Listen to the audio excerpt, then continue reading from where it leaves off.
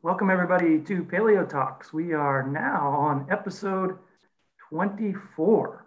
And we are here today with Dr. Joshua Samuels, who is a faculty member in the Department of Geosciences at East Tennessee State University, right here where we are at. And he's also a curator out at the Gray Fossil Site and Museum. Uh, Josh has been with us for a few years now and is well known for working on a wide variety of different mammals and sometimes even reptiles and other critters. Um, today, in particular, he's going to talk about rodents and the weird, bizarre rodents uh, that are out there from the past, or at least a, a sampling of them. So uh, before I do a little bit more with the introduction, let's jump over to David and he can go over the show. Thanks, Blaine, and thanks everyone for tuning in again for Paleo Talks. Same format as you've been accustomed to if you've been following us uh, so far. We're going to have a presentation from our guest. There might be some chatter along the way, some friendly conversation, and then about part halfway through or so, the presentation, we are going to open it up to questions from the audience, at which point we will tell you that if you have a question, go ahead and put it in the Facebook comments here on the Facebook video. And as usual, if for any reason you can't comment on our Facebook, you can go over to the Gray Fossil site, Twitter or Instagram pages and send us your questions there. And I'm going to be keeping an eye on all of that uh, for our Q&A session, which will go until probably around one. All right. Thank you, David. Uh, Dr. Christopher Widga is also here with us again today. And uh, so part of our conversation will, will include Chris. And before we go any farther, just a reminder, we are coming to you from the Center of Excellence in Paleontology here at East Tennessee State University in Johnson City and also the Gray Fossil Site out at Gray. And it looks like Chris is actually out there right now today.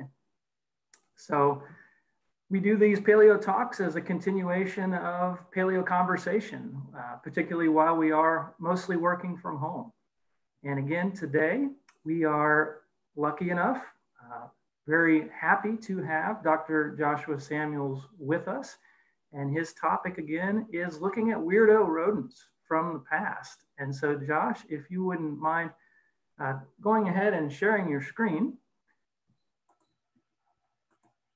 And then what I want you to do, uh, we've had you on the show one other time, but this time I'd like you just to tell us a little bit more about your background, how you got into paleontology in the first place, and what led you to uh, ever studying rodents.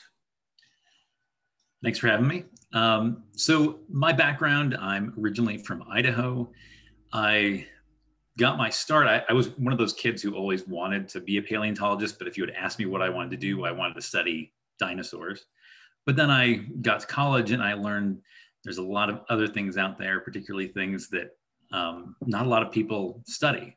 And so one of the professors I had in undergrad, who's um, a mammalogist named Eric Jensen, he introduced me to Greg McDonald, who was the paleontologist at Hagerman Fossil Beds there in Idaho, where I grew up. And that's where I got my start was being an intern in uh, that national park site. And that was something that really helped me get my start and really is what got me started studying beavers. And it was just kind of convenience that they, one of the most abundant animals there were beavers and they hadn't really been studied a lot.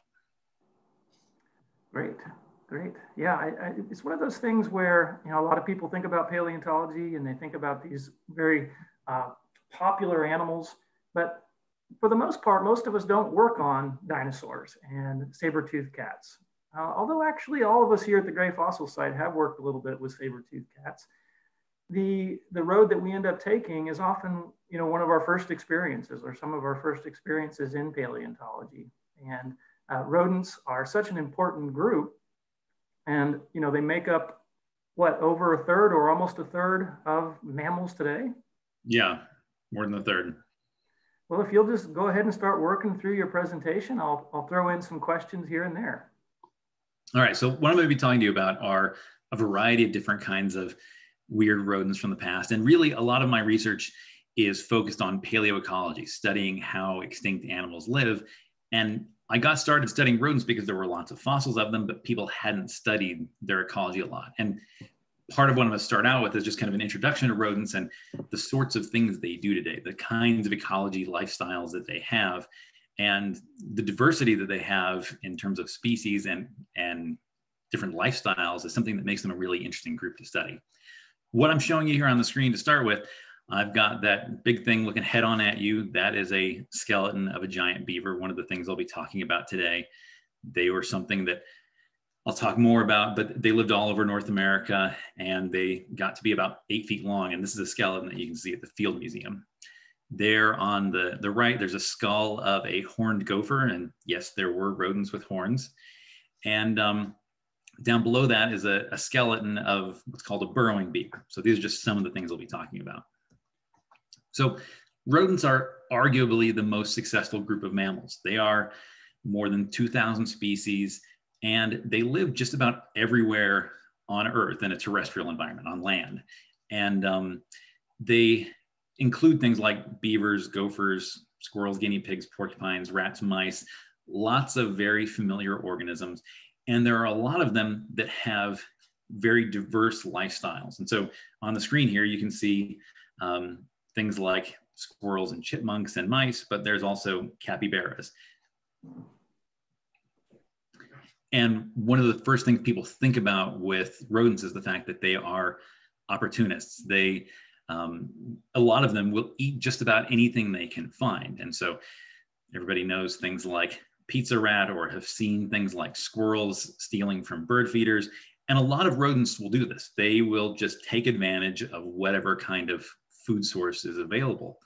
And part of the um, adaptations that rodents have are these incisors and their, their jaw muscles that are very distinctive. And part of that lets them exploit all kinds of food resources, things that a lot of other animals couldn't. Josh, could you mention what you mean by successful? Because I think a lot of people probably giggle when they hear as something like rodents being the most successful, but from a biological point of view. So, in, in terms of the numbers of them, there's incredible numbers, very large populations, and they live just about everywhere on Earth where you're going to find a mammal. So you can find them from beaches at sea level all the way up to mountaintops. And there's some that were recently studied in the Andes in South America. The highest living mammal is a kind of mouse that lives there. Um, and you can find them out in the driest, harshest deserts, things like this um, jerboa shown here in the middle of the screen lives in places where you aren't going to find a lot of other animals. And so anywhere on land, you can usually find rodents and you can find a lot of them. And they have a lot of lifestyles that other groups don't. So things like beavers eating wood, um, a lot of things that are burrowing and living underground. That's not the kind of lifestyle you see in a lot of the other groups of organisms. Thank you. So while we think of rodents as being opportunists, usually there are a lot of them that are very specialized. So in the top left, there's a grasshopper mouse you may have heard of. They feed on um, both invertebrates and vertebrates. So they'll eat things like the scorpions or various kinds of insects, but they'll also feed on other rodents or shrews. Uh, in the upper right, there's the um, Australian water rat, and it's actually one of several different kinds of fishing rats. There's a, a variety of different groups that have independently evolved a kind of otter-like fishing lifestyle.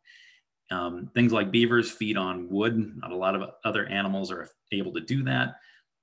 In the middle, that's a um, tuco that's digging underground. Um, and then you've got a um, prairie dog inhabiting the kind of Great Plains. So there's lots of these things that are feeding on things like grass, seeds, um, wood, lots of different kinds of resources. And the way they do this is because they have these special incisors, the buck teeth that everybody thinks of when they think of rodents. And the incisors are very special because they have the hard enamel that covers our own teeth on the front of them, but most of the tooth isn't covered in enamel and it ends up creating a self-sharpening blade. You've got the softer dentine behind it, and it makes it so they have these teeth that are really great for chewing on all kinds of things. Um, rodents are known to do things like chew through walls of houses or concrete or chop down trees like these beavers. And these teeth allow them to do that. And rodents also have really diverse kinds of locomotion. They get around in a lot of different ways. So there are things like beavers, again, that are semi aquatic. They spend a lot of time in the water. They are among the most uh, capable divers in among mammals. There are also things like kangaroo rats and jerboas. There are these bipedal jumping animals. There's lots of climbing animals like squirrels and porcupines. There's burrowers, including a wide range of burrowers that really spend most of their life underground, like these naked mole rats. And then gliding animals like flying squirrels, but also um, several other families of rodents are known to have gliding members. So the kinds of things I do, the research methods I have are what would be called ecomorphology. And a lot of what I do is I look at the anatomy of living organisms and how it relates to their ecology. And then I use that to infer the lifestyle of extinct species. So I've done this with rodents, I've done it with carnivores, but a lot of the things I'm doing are taking linear measurements or taking um, doing landmark analyses. And this sort of things can allow us to look at the shape, the uh, structure of the body, and compare it among groups that have different sorts of lifestyles. So the first rodent I wanted to mention is something that's not so weird. When you think about something like squirrels, they should be familiar to pretty much everybody in the audience. But there's a very weird thing about squirrels. And the fact is that they are living fossils. There are skeletons of squirrels, if you go back 30 million years ago, that look pretty much identical to living tree squirrels. So here on the screen, you can see a skeleton of a squirrel that I described with Bill Korth a few years ago. And this squirrel Protosciurus, it is almost identical to squirrels today, despite the fact that this skeleton is about 27 million years old. Um, and as opposed to a lot of other groups of animals, rather than changing as environments have changed over time, squirrels have just followed the habitats they like. Being a squirrel is a um, very successful lifestyle. It's something where squirrels can inhabit lots of different places as long as there's trees and some sort of food sources, they, they tend to be happy. Now, on to the really weird things. So hmm. the, fir the first of these is this giant beaver, Castoroides. And go ahead and interrupt if you have any questions. I was going to say, Josh, if you wouldn't mind just commenting on a moment here, the importance of modern comparative collections in the work that you do. You know, what could you really say about these past lives of these animals if you didn't have a really good modern comparative collection? Yeah, and so one thing I'll mention is, you know, I, I point out these different sorts of measurements that I do. And a lot of my work is really spending time in modern skeletal collections and going through and measuring lots of skeletons of modern species and trying to get a good grasp on how these lifestyles relate to anatomy. And without good collections, I wouldn't be able to do this sort of thing. So it's something where um, going to museums all over the country is what's really allowed me to do the work I do. And studying those collections, and quite often those are collections that have been built by a lot of hard work over a long time, is really important for everything I do. Exactly. And a lot of people don't realize that importance that these modern collections play in our paleontological interpretations. Thank you. Yeah, and, and something like this giant beaver, I can't just study it in isolation. If I just look at this bizarre eight foot long skeleton, it's the kind of thing that um, it it looks very strange. It's got a lot of distinctive anatomical features. Really understanding what a lot of modern relatives of this look like is key to understanding how this thing lived. And these giant beavers, they were around from about 2 million years ago until the end of the Pleistocene, about 12,000 years ago. And this skeleton at the Field Museum is nearly eight feet long. There's another one uh, that's at Earlham College. It's even a little bit bigger. And these things um, probably weighed about 200 pounds, so getting, getting up to 100 kilograms. So they are a very large rodent, bigger than um, anything that's alive today one of the, you know, I've, I've, given a lot of talks on Pleistocene animals, and you talk about mammoths, mastodons, giant bears, camels, all of these animals that used to be here in North America. But when I mention giant beavers, the size of black bears. That turns people's head, I think, more than any of the other animals. Have you had a similar kind of experience with that?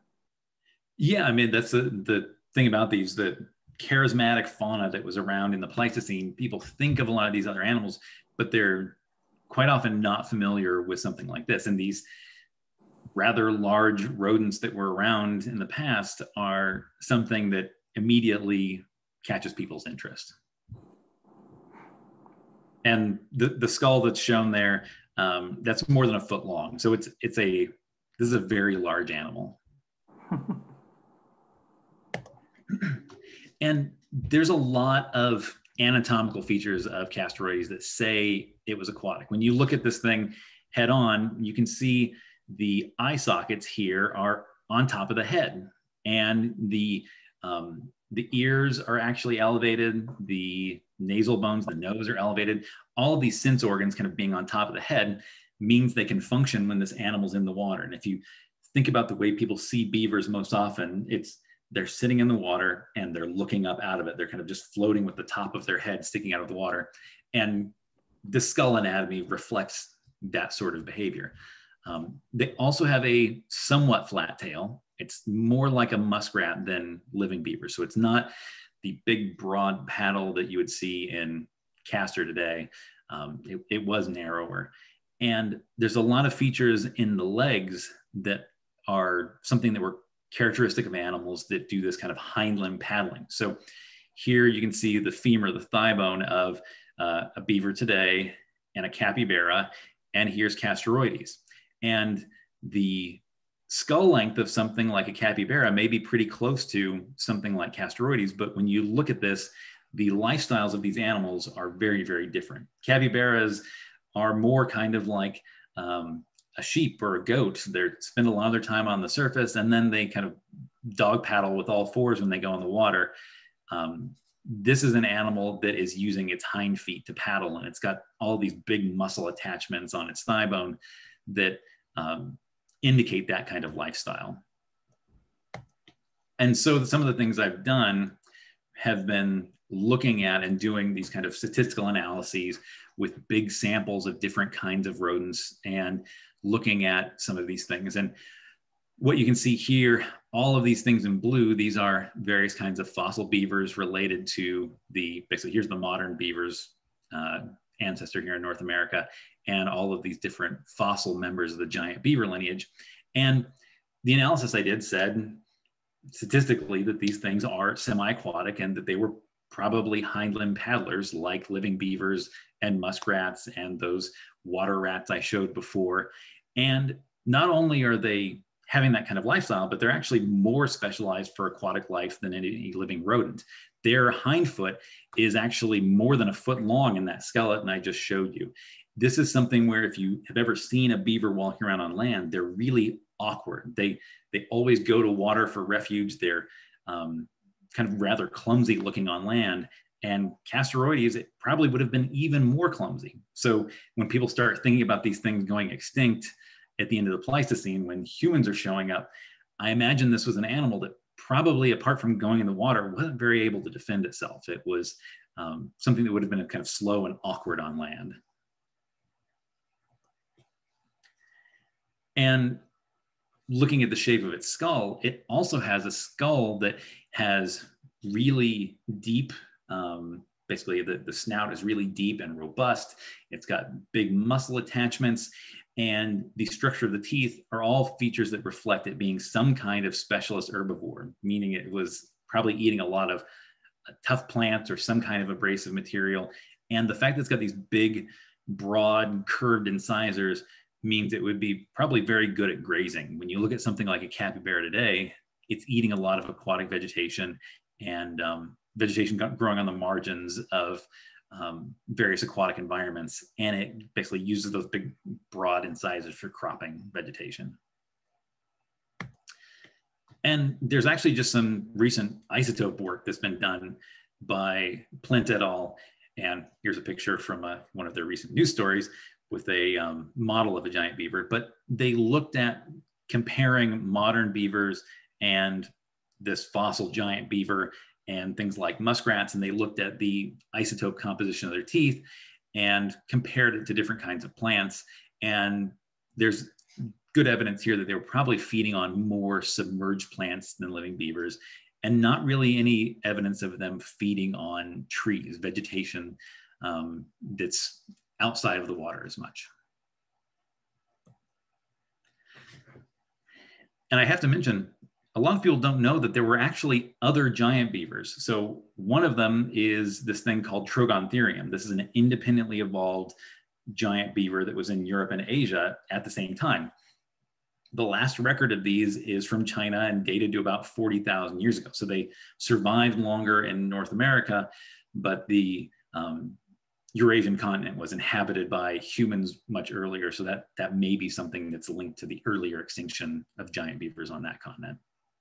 So is the, the chewing of these giant trees and you know, building these big dams something that's unique to the living beaver then? So the there have been people who have looked at the evolution of wood cutting and the wood cutting was definitely done by, I can show you right here, this thing Dipoides, which is an earlier member of the giant beaver lineage. It's known from a site up in the high Arctic of Canada, um, that genus Dipoides. And there's a bunch of cut wood there that has cut marks consistent with the incisors of this beaver. Um, we know that Dipoides was definitely cutting wood. We know the living beaver Castor cuts wood. Whether or not Castoroides did, um, there's there's not good evidence of it cutting wood or building dams. So at this point, we we can't be sure, but we know some of its ancestors were. But what we can say is that these incisors, they are round and very broad. That's not really a shape that's very effective for doing something like cutting wood. When you look at a, a beaver today, its teeth have this very flat, sharp face that is kind of like a chisel and they're really well suited for chopping down trees. But that wasn't the case for Castoroides. The teeth would suggest it probably wasn't chopping down trees much. It probably could have eaten branches or eaten um, leaves off of trees, but chopping them down and building dams, we just don't really have evidence for. Thank you. All right. So sticking with beavers, I want to mention there's also an extinct lineage of burrowing beavers. And they were in North America from about 30 million years ago to 18 million years ago. And they're interesting because they were the first group of rodents to be highly specialized for life underground. This thing, Palaeocastor, is really common in Oligocene and Miocene sites in North America. And it's found in places like agate fossil beds associated with these very odd burrows. And some of them get to be 10 feet deep and they've got this odd spiral shape to them. So you can see it here going down from the surface in this spiral shape. And the skeletons of these beavers have been found within. So this is actually one that was found in a Daemonelix. Um, and the idea of these is that potentially these were things where they're using this for refuge. It might have been some sort of climate adaptation that's been suggested by some people. Um, you have different kind of airflow from these um, deep burrows with a kind of helical shape than you would a straight tunnel. But the walls of the burrows have scratch and tooth marks. So we know these things were um, the ones that actually made the burrows. And in some of those analyses where I've looked at things like skull shape and the, the morphology of the limbs, um, there's some features that tell us that things like palaeocastor, this was has a skull shape that looks like some things like gophers today that dig with their teeth, um, or those naked mole rats. And there are other burrowing beavers though that have teeth or have a skull structure that looks like some things called headlift burrowing rodents today. And that includes things like this blind mole rat. And these blind mole rats live in Asia and they are effectively blind. They have um, this odd little um, rough spot on their nose that's kind of a horny pad that they use to push on the dirt. And they use their head kind of like a bulldozer. And they've got this distinctive flattened and slanted back of the head. And various groups of extinct beavers had this. This group called Euhapsis includes some things that were, in terms of their skull shape, very much like these blind mole rats. And the optic canal where the optic nerve going to the eye uh, exits the skull is highly reduced. It's almost effectively gone in these things. So they may have been blind and spent their whole life underground just feeding on roots.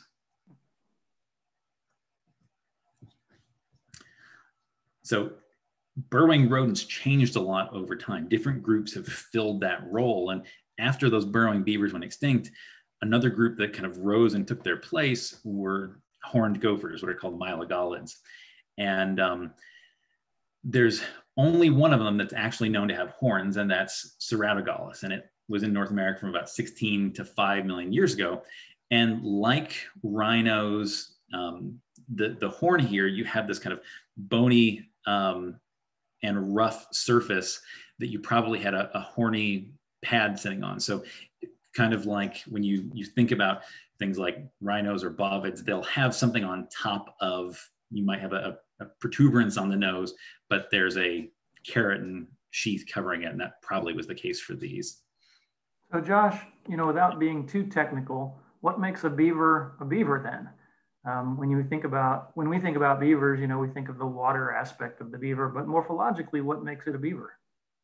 So there's certain characteristics of the tooth shape and structure, and um, also the jaw muscles are very distinctive in beavers. So there's some some pretty easy ways to tell a beaver, and really, um, the if I look at the pattern of the holes in the skulls here, where all the different nerves and blood vessels exit, or if I look at the patterns in the teeth, these things, they still look like a beaver, but there's some features of their anatomy that are very much convergent with a lot of other rodents that do different kinds of lifestyles today rather than the aquatic beavers we all think of.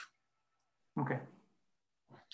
And so these horned gophers are interesting and um, they're really the only rodent that's known to have had horns. And we uh, Jonathan Calede and I recently described a new species of this Ceratogaulus, and we built a new phylogeny of them. And here you can see this is the kind of family tree, and everything here that's within this genus Ceratogaulus has some sort of horns.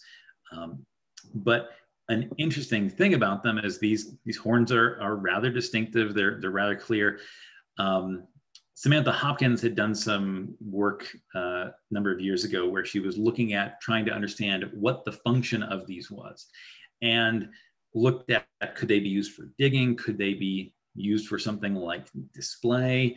Um, or might they, have been used for defense? And the orientation of them, the shape of them, the shape of other aspects of the anatomy really makes it so the only good explanation for them is that they're being used for defense. And if you think about something like a, a prairie dog or a marmot and they uh, a groundhog and they stick their head out of their burrow like this having the horns be the first thing that comes out of the hole might help deter some predator that was there if you think about a predator near that entrance to the burrow having some horns be the first thing that comes out might help deter predators and what we found is we looked at the size of the horns. And this is basically the length of the tooth row. And here's the height of the horn cores.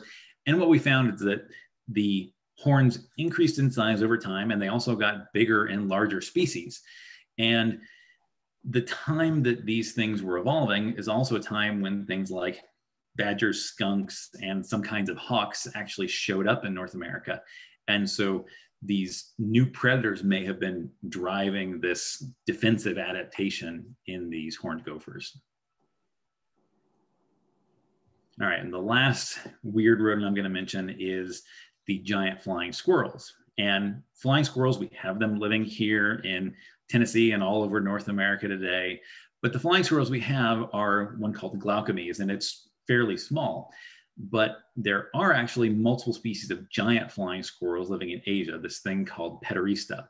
And in the past, there were giant flying squirrels living much more broadly. There was one described just a couple of years ago from Spain that is most of a skeleton. So we really do know that this is something that was a, um, a gliding animal and it had an anatomy almost identical to these living giant flying squirrels and they're known from all over Europe and Asia. And there's actually two records of them in North America. And so there's one from Florida that was named Miopetaurista webbi. And um, we found one tooth here at the Gray Fossil Site that's um, incredibly similar. It seems to be the same sort of thing. And what this means is that these giant flying squirrels were living across the whole northern hemisphere in the Miocene and the um, early Pliocene, and, and, maybe surviving even into the Pleistocene. So some of these things that would seem very strange, a uh, animal that kind of is the size of a house cat and looks more like a kite when it's gliding, is something that actually lived here in the past. So Josh, can you give us a feel for you know, what size are we talking about here with an animal that we're everybody might be familiar with? So the the size of this animal, this Petaurista, it is about as big as a house cat, but then it's got um, this these very long legs and this membrane that's spread between the arms and the legs, and so. Um, I mean, it would have only weighed a few pounds. It's very lightly built, but thinking of something like a house cat, that's about the size it was. Okay. All right. And so um, wanted to acknowledge a few people who I've worked with on rodents and also my wife Keela, who did illustrations for some of these things in the past. And um, like Blaine mentioned before, there are a lot of museums I visited to look at both fossils and modern animals. And there's been a lot of people who have helped me study those over the years. And the last one I'm going to show you here, this is a giant marmot. So marmots or groundhogs we uh, are most of us are familiar with here. There's a holiday for them, but there was also one that was much larger in the past. And this thing, Paenemarmota, it is uh, an animal that was probably pushing uh, 60, 70 pounds. So this is a very large ground squirrel. And it's really, this specimen is the um, largest squirrel that anyone's ever found. It's something that's at Hagerman Fossil Beds. And um, one of those back burner projects that I'm going to try to wrap up describing it. But um, it's also got anatomy. It's most of a skeleton. Its anatomy suggests that it was a digging animal too. And so it's um, a really large animal to be doing much digging. And um, it's just a, a, very odd thing to find. And really, there's a lot more things probably like this out there that um, are just waiting to be found. All right. Well, thank you, Josh. The, you know, I love I love learning about rodents and, and microfauna and the power of microfauna and what you can learn about that. And the Gray Fossil Site itself, you know, for quite some time, we haven't looked in great detail at the microfauna. We, we spent many years digging, we screen wash everything. And, and when you got here, you sort of had a lot of materials that you were able to start looking at as a rodent uh, expert. And, you know, so just if you if you comment for a minute just on that that sort of power of the microfauna itself and how important that is in actually telling us more about paleoecology. Well, one thing I like to point out about a lot of these animals, so I, I showed you all those rodents at the beginning. A lot of these rodents are relatively small and they have very specific lifestyles and very specific environments they inhabit. So something like beavers, they may live all over the continent. But if you think about a lot of these other animals, things like mice, chipmunks, ground squirrels, if you go different places here in the country, you're going to find different animals. And so they are very specific to the environments they're living in. Quite often they reflect those environments. And since they're small, they also evolve very quickly. So if you think about something like mice, some of them, some, some species of mice can actually give birth several weeks after their own birth. So they can be reproductively active just in a few weeks after being born. And that means you can go through generations of them in a year and they can evolve and respond very quickly. And as a result, when you get changes in the environment or um, these kinds of perturbations in the environment that we think about, like climate change or um, some kind of new predators arriving, those sorts of things, these rodents respond really quickly. And so the fossils that we get from something like screen washing can tell us a lot about local environments, how they change over time, and um, just larger body size things. A lot of times they they live in wide areas, and so they they don't give you that habitat specificity. And the rate of evolution itself can give us an idea of the age of the fossil site.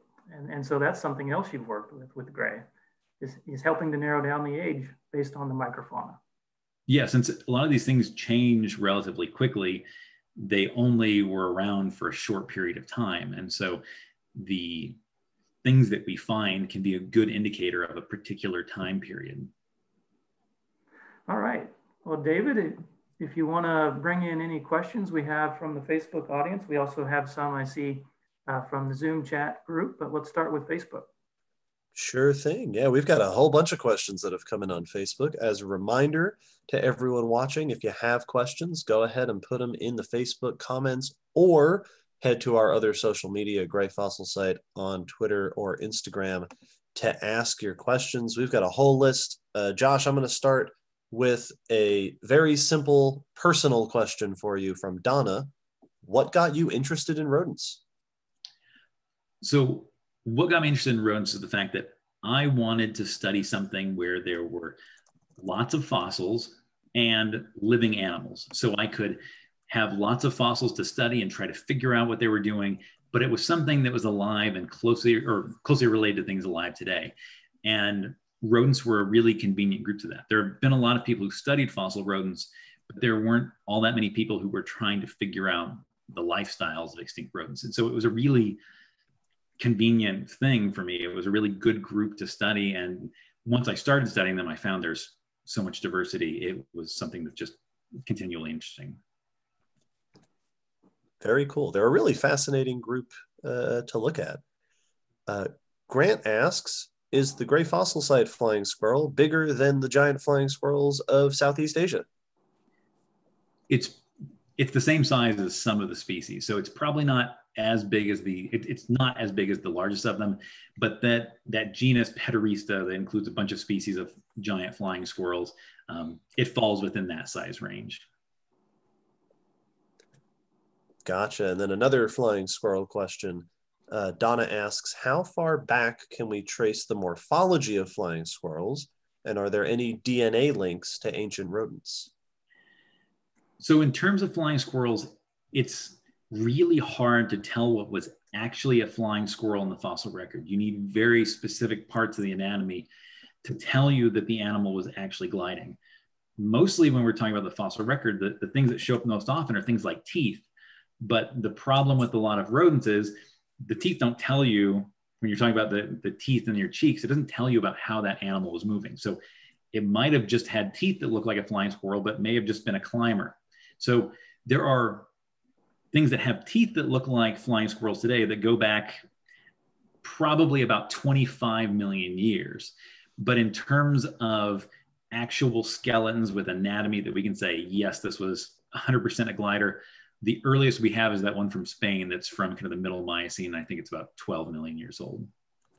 And, the, uh, yeah. if we look at the giant beaver, they have these crenulations on the incisors. Uh, Greg McDonald brings this up as a question to you about the functionality of those crenulations. What are they for? I'm not certain, but there's a variety of larger rodents that have those crenulations. So the um, the giant marmot there actually has similar sorts of this kind of corrugated pattern, this zigzag pattern, the enamel. Um, the best idea I have is from talking to a few other people that they suggested it might be for stopping cracks. So if you have them biting on something, that kind of zigzag texture to it can keep the crack from propagating through the whole tooth. And so it's if they bite something hard and it cracks a little bit, it runs into a zigzag and, and stops. Uh, hey, let's, uh, Chris, if you have any questions, feel free to jump in. Yeah, I, I got a question for you, Josh. Um, you know, you, you see this, this kind of oversized rodents occurring in multiple lineages is there any sort of common thread that says, oh, okay, uh, you know, we have a, a, giant rodent is going to fill an ecological niche because of this? Uh, I mean, is there any commonality between these different things or any feeling on that? A lot of the ones that are the, the biggest members of the groups actually are things that are aquatic. So taking up an aquatic lifestyle gives you some refuge. If you think about what's the limit on the size of a lot of these things, it's being seen by predators. So you can climb a tree, you can dig underground, you can go to water. That's how you get away. The ones that are the biggest are things like these these beavers. There's some rodents in South America that are somewhat related to capybaras and may have had similar lifestyles. It may have been that they were taking up some of this kind of aquatic, large aquatic rodent niche. And some of the ones in South America were much bigger than Castoroides, maybe even getting up to a thousand pounds. So Josephoartigasia and Telicomys are two from South America that were just gigantic. That's cool. so Josh, speaking of our microfauna and rodents at Gray, and, and comparing that, because I know you have to some extent, comparing that to other microfauna, particularly the rodents from other sites across North America that are about the same age, maybe talk just a moment about the uniqueness of Gray and what it represents. The unique thing about gray, I'd say, is that at that time, you start seeing a lot of voles coming in, and voles and muskrats and their relatives come into North America a little bit more than 5 million years ago, and they just take off and they become really diverse. And then most sites where you've got rodents, it's those things, and it's just huge numbers of those things. They're the the most abundant things that tons of fossil sites from that time period. We don't have any at Gray. And I think it's partly because it's reflecting a different sort of environment. Um, they like cold conditions in some cases. They they do pretty well in arid conditions, and the evidence we have for gray is that it wasn't like that. And so a lot of what we have, we've got a lot of things that look like climbers, and that's really rare for that time period. So we've got multiple species of tree squirrels, multiple species of flying squirrels, and we've also got a um, thing called a birch mouse, and those are alive in uh, Asia today, and they're a climbing adapted kind of mice. They they have a prehensile tail. So the fact that we've got five rodents at the site that I can say these are all climbing animals, no other sites from the time period have that. So, so would most voles at that time be living more in a grazing grass prairie type of environment, maybe? Probably, yeah. So things like prairie steppes, grasslands are probably what they were most adapted for at that time. Great. That question uh, uh, uh, sort of leads into this other question that we've gotten from Mason, who asks Are there places and time periods which are rodent evolution gray areas that you'd really like to learn more about? Well, one thing that's interesting is that there's um, you know, the, the gray fossil site is one of the things that's actually filling in some of that. There's a lot of the western part of North America. So in the Pacific Northwest, in the Great Basin, in the Great Plains, where you have lots of fossil sites with lots of rodents. That's not the case for the eastern part of North America. So there's a lot of these gaps about where did things out here come from? What are they related to? You know, some of the things we we're already finding is I mentioned that birch mouse, this giant flying squirrel, those are things that live in Asia. And we have Asian connections between our rodents at Gray and not that many connections to things that are living out in the western part of this continent. So that's an interesting thing to start thinking about and reconstructing how animals moved from one place to another in the past. All right, we've got a couple of, so I'm going to combine two questions for this next one, which are interesting. Uh, Charlie asks, are there any uh, mustelids known to co-evolve with or prey on the large species of beavers? And a similar uh, question from one of our students here, Christiane asked, is there any evidence of humans hunting the large beavers? I'm not aware of any evidence of humans hunting the large beavers. I, I know they would certainly be an attractive target just because um, we, we have good evidence that they were aquatic. Going back much further in the fossil record, we can find they've got this grooming claw in Castoroides and their ancestors that was used to spread this oil over their fur that helps keep them from um, getting, it keeps their fur dry basically when they go in water. Um, they would be an attractive target because their coats would have been so um, kind of probably dense and, and good for insulation, but we don't have any evidence that I know of of them being hunted by humans. Um, as far as members of the weasel family, um, sometimes otters will go into lodges and eat beavers today. The they're not the top predators. Actually, the things that are the top predators are bears and wolves are more commonly predators of beavers. And bears will sometimes smash open lodges and wolves will get the beavers when they're out on land trying to do things like chop down trees.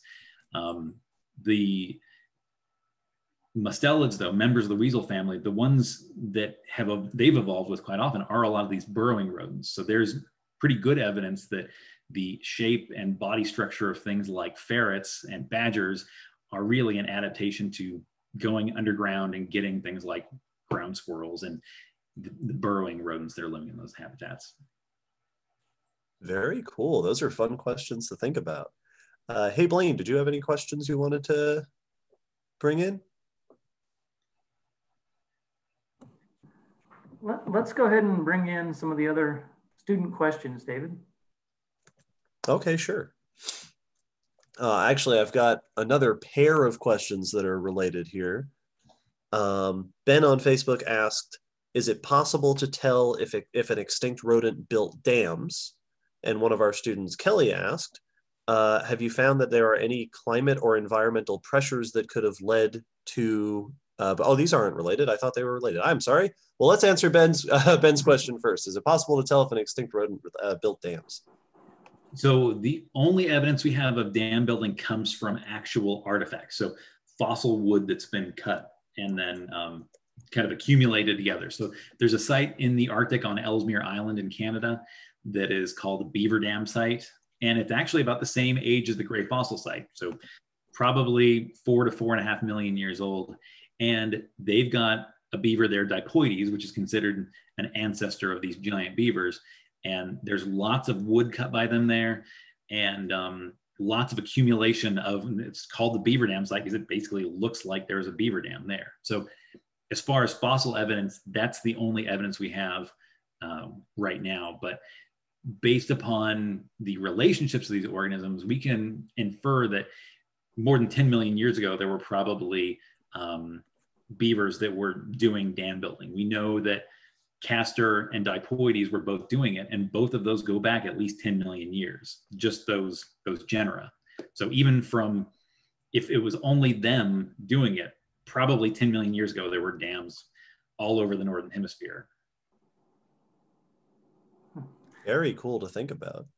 Uh, and now I'll go ahead and ask uh, Kelly's question since I started it. Uh, Kelly asked, have you found that there were any particular climate or environmental pressures that could have led to burrowing in beavers?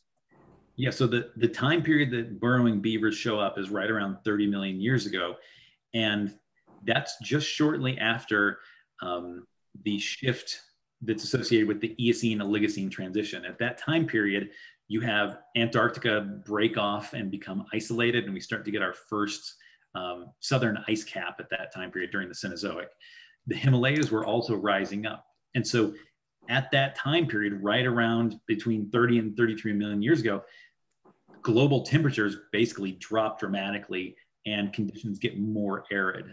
And so these beavers are showing up right at the time period where environments start to get cooler, drier, and we have evidence of them getting more open. So ancient soil evidence suggests you, you got to shift to these kind of open woodland environments in some places at that time. And that's when these burrowing beavers show up. Let's see, we have one from Julian. Have we asked that one yet? I didn't think so. Uh, Julian's question is about uh, Palaeocastor appears to plot with semi-fossorial rodents. Is this consistent with its paleoecology in the fossil record? So in the two different kinds of analyses I've done, I've done things where I looked at the limbs and I've looked at the skull. And the anatomy of these things in different parts of their body can kind of be a mosaic. So in the case of Palaeocastor, its limbs look a lot like what are called semi-fossorial rodents today, things that don't really spend all their time underground. They come to the surface and forage. So if you think about something like a prairie dog or a ground squirrel or a groundhog, they all dig a burrow for refuge and they come to the surface to forage. That's what the limbs of Palaeocastor look like. But its skull and its teeth are more specialized for digging, like actually digging with the teeth. Um, than any of those things. So it probably did dig more extensively than those did. I mean, the, the burrows it makes are definitely larger than you would see in any of those living groups, but it almost certainly foraged at the surface, not eating roots underground. Whereas that weird blind Euhapsis, maybe it was like the blind mole rats and just spent its time underground, not coming to the surface, feeding on roots and just living in the soil. So the burrowing rodents are just, to me, so fascinating in the fossil record because we, we have to stop and think and remember that they are actually burrowing down into older sediments, sometimes much, much older sediments that have other fossils in them. And in that process, they are displacing older fossils.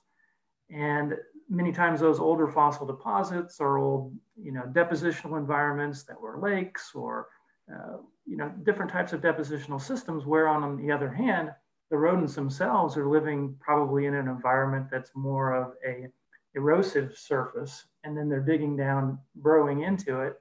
And we get these burrows preserved because sometimes they are more resistant to weathering and erosion than the sediment that surrounds them. And one of the things I'm wondering is, you know, to what degree or to what extent are these burrows also useful for recording the animals that also fell into the burrow outside the burrowing animal itself?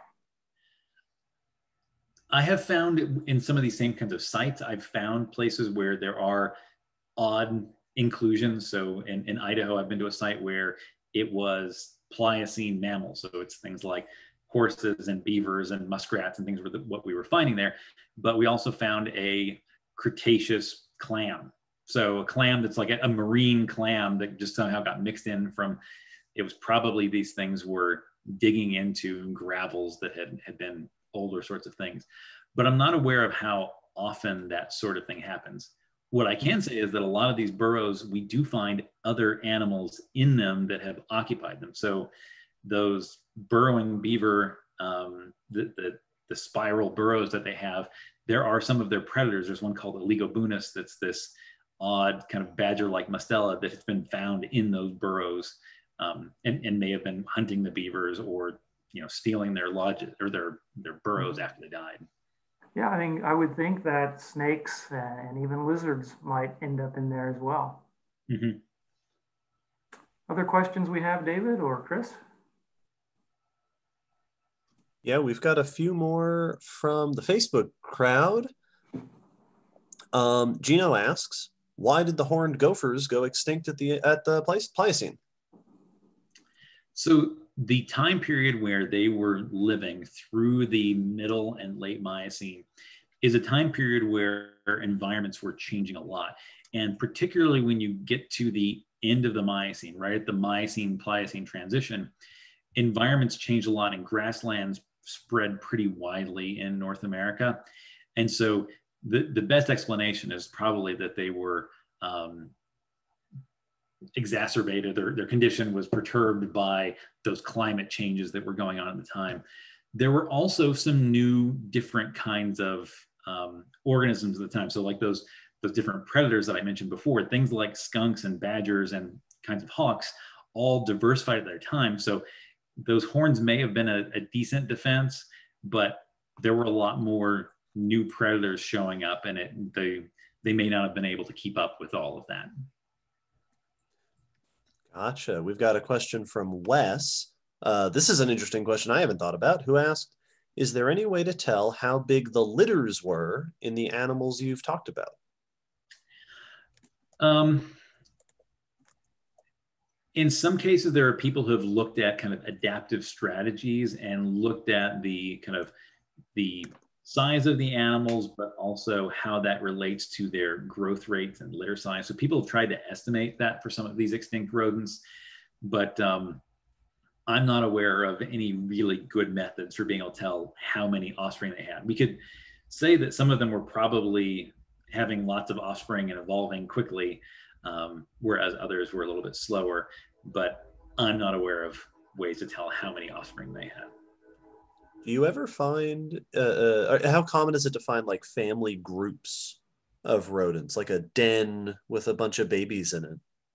Um, I have not seen any of those. It, it's one of those things where I have the only time I found what was probably a den was actually from a site in Oregon where I found what was um, probably a mouse deer den. And we had an, an adult and then multiple juvenile skeletons that were all found within like a one meter spot. So perhaps they were all living together in some small area. But um, in terms of my own experience, I, I haven't found any and I haven't seen them in museum collections where you probably had a, a large number.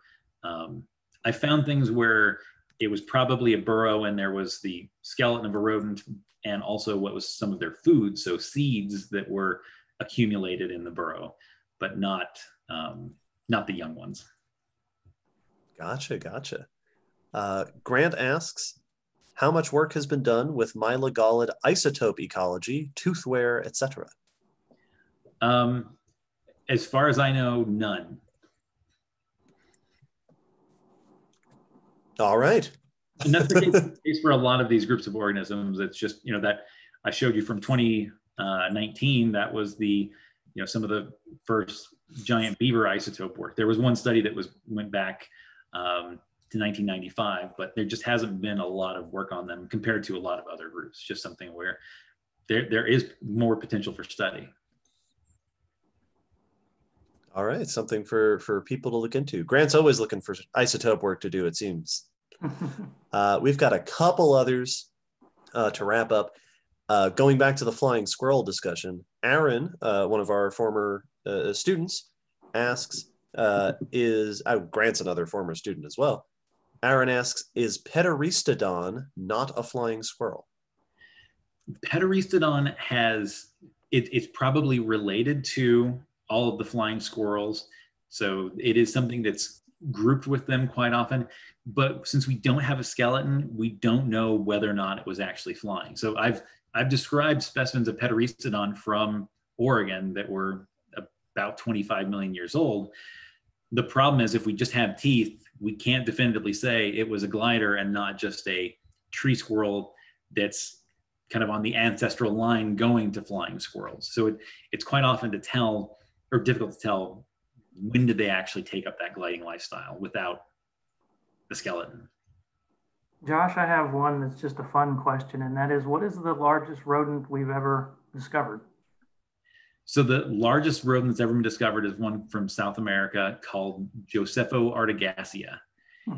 And um, if I'm remembering right, I think its skull is about a foot and a half long, and the body mass estimates are, are definitely putting it over uh, a thousand pounds. So it is, it was compared to the size of something like a bison. And it so lived in trees, right? It, it, it I mean, the thing to think about is it, it's related to things like um, there's a it's been called Dinomys today, but it, if you kind of think about the the the group of rodents living in South America, just think about a a giant guinea pig. Really, a guinea pig the size of a bison is kind of uh, the the thing to think about. And did you say what age it is? Um, I believe it's Pliocene as well. Wow. It's, yeah, just a few million years old. I think it was three to four million years old. So the same time as some Australopithecus. okay, something to think about. And really, when you think about human evolution, there were giant rodents in a lot of the places that humans moved to. So in Europe and Asia, there were those giant beavers, and in North America, there were giant beavers. So, um, and what about capybaras? Were they were there examples in the past of being even larger? There are some slightly larger capybaras that are known. Actually, they capybaras used to live into various parts of North America, mm-hmm. um, so along the, the Gulf Coast, and I think there's also some specimens from Arizona. But um, capybaras used to live a lot further north as well. Right. But some of them were were bigger in the past. All right. Well, we are at one hour. David, is there are there any other uh, pressing questions that we should include?